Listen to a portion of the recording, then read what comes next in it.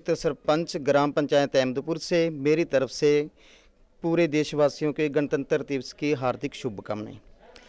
सरकार की तरफ़ से पंचायतों को समान रूप में फंड दिया जा रहा है, जिसके तहत गाँवों में बहुत बढ़िया विकास हो रहा है।